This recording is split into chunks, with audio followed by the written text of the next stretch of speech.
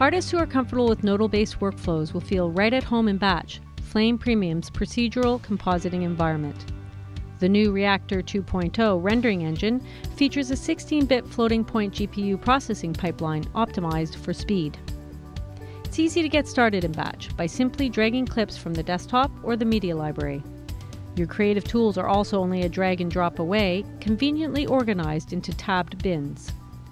These tools vary from basic effects nodes such as simple transforms to Action's full 3D compositing environment. You can also save your own custom groups of nodes for commonly used tasks. Keeping track of creative iterations and versions is easy via the batch snapshot functionality.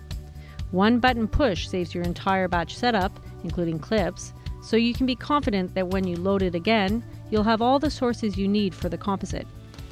Switching to another version or setup is as simple as restoring the snapshot. But the true strength of the procedural pipeline is its tight integration with the timeline, where every clip can effectively be a batch setup.